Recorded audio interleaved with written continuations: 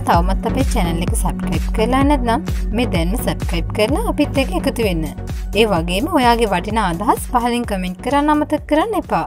ඔබට සුබ දවසක්.